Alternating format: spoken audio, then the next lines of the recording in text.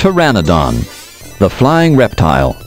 Pteranodon belongs to an ancient group of flying reptiles called pterosaurs that lived at the same time as the dinosaurs.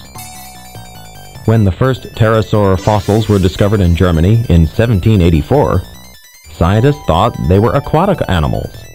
It took them 100 years to finally recognize they were flying reptiles.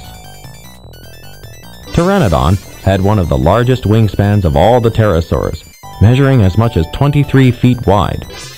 This 37-pound creature had a sharp beak with no teeth, and almost half the length of its head was taken up by a bony, protruding crest whose purpose is still not fully understood.